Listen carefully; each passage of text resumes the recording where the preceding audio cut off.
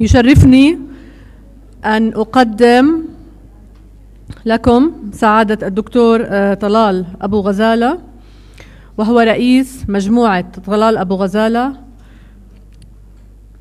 الدولية وهو أحد أكبر مؤسسات القطاع الخاص العربية والدولية أيضا والذي حرص على التواجد بيننا اليوم على هدى اليومين السابقين لتأكيد دعمه ودعم مؤسسة مؤسساته لمشاركة النساء العربيات في الحياة العامة وخاصة في الحياة الاقتصادية.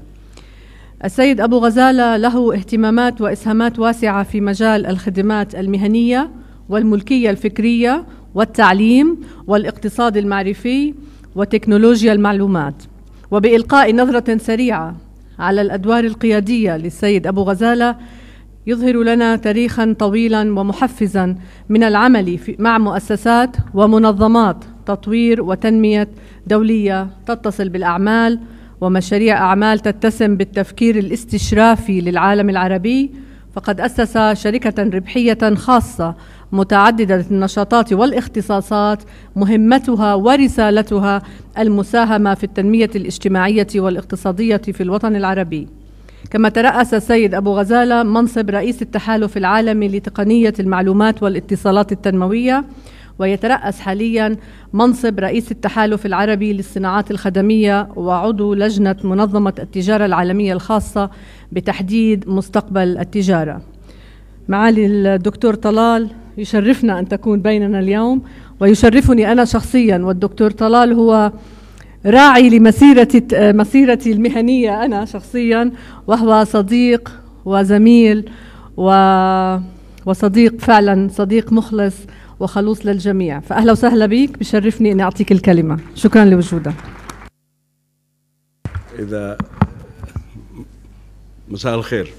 إذا في إذا في حدا آه، يشعر بالفخر اليوم فأنا لأني أجلس إلى جانب آه، هذه القائد للتنمية في على مستوى الوطن العربي.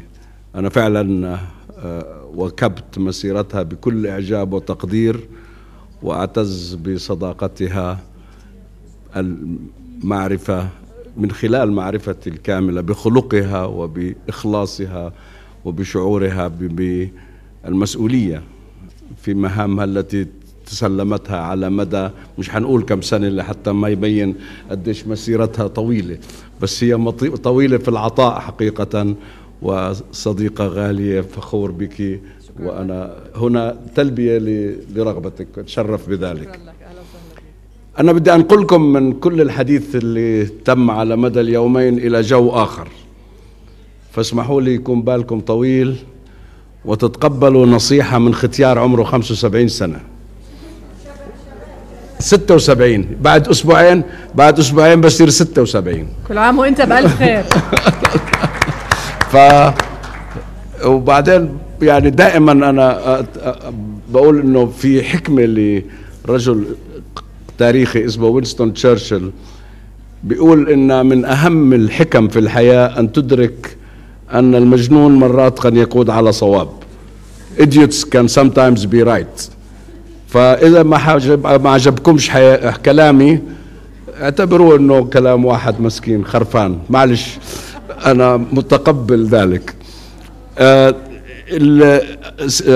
ميا أنا أشكرك إنك دعيتي نائبة الأستاذة سمر اللباد وأنا بالمناسبة تأكيد على أهمية المرأة. الرجل الثاني في المؤسسة آه، سمر اللباد اللي كان المفروض تكون معنا هي سيدة طبعا. ومقيمة في القاهرة ولم تستطع لظروف قاهرة. ففرضت نفسي أنا وطلبت أن أحضر. فشكرا أنكم قبلتوا أنه تستضيفوني. فأنا هنا أنا هنا امبوستر imposter يعني جاي غصب عنكم. فلذلك أيضا تحملوني.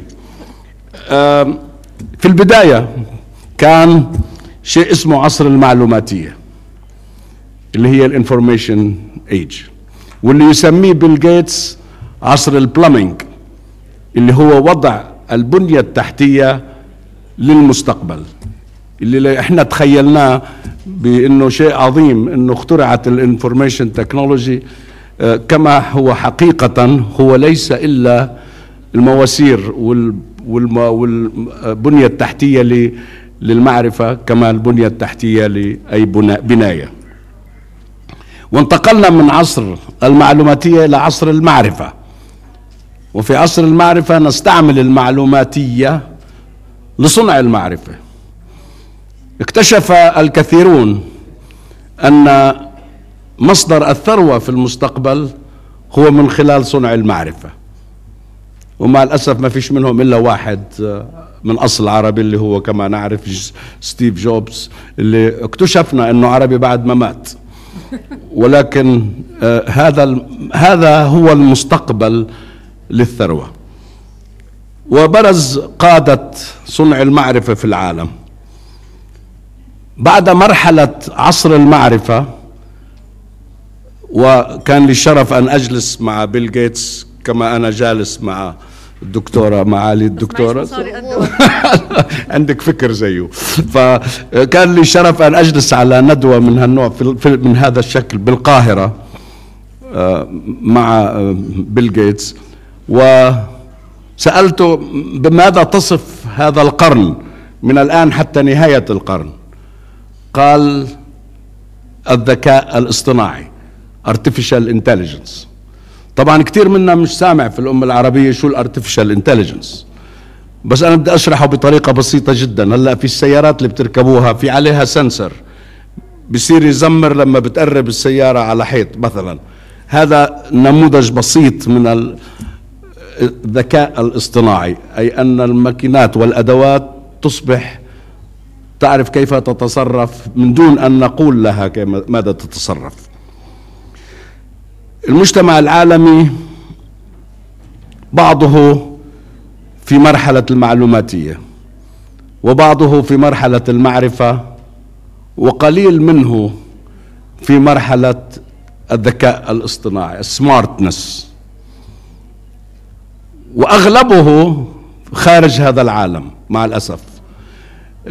إحدى منظمات الأمم المتحدة ال ITU International Telecommunication Union يجري احصاء سنويا عن عدد ال native ال digital natives في كل بلد وال digital immigrants digital natives هم الأطفال. أنا بطل عندي أطفال لأنه أحفادي بالجامعة. بس الأطفال اللي في عمر الثلاثات ثلاث سنوات والخمس سنوات الذين ولدوا ويشربوا الحليب مع المعرفة مع جهاز ذكاء. هذول هم ال digital natives وأمثالي هم ال digital immigrants ولكن أنا مهاجر قديم. أنا أول درس كمبيوتر أخذته بحياتي كان عام 1062 قبل ما تولدوا كلكم. في مركز اسمه اي بي ام شركة اي بي ام في هاي ويكم خارج لندن. وكانت الكمبيوتر طولها خمس أمتار. كانت اختراع جديد. لم يكن اسمه كمبيوتر كان اسمه word processor كما نعرف. بعد من يومها تعلقت بثورة المعرفة وصرت أتابع ما يجري في العالم إلى أن انتقلت إلى مرحلة الإنترنت. وكان لي الحظ أن أحضر لقاء مع المستشار الأعلى لرئيس جمهورية أمريكا عام 82 واسمه إيرا ماجازينر ليشرح ما هي الإنترنت. وضع على الشاشة مثل هاي الشاشة صورة كمبيوتر كان وقتها الديسكتوب الكبير وهذا كان لسه جاي ما كانش موجود. وكان أمامه على الكيبورد كلب عم يطبع. وكتب على الجهاز إن عظمة هذا الجهاز أن الذي على الطرف الآخر لا يعرف أنني كلب. وقال أن هذه الديمقراطية التي عجزت كل الدول عن تحقيقها للمواطنين تتحقق في الإنترنت. لأن كل من يدخل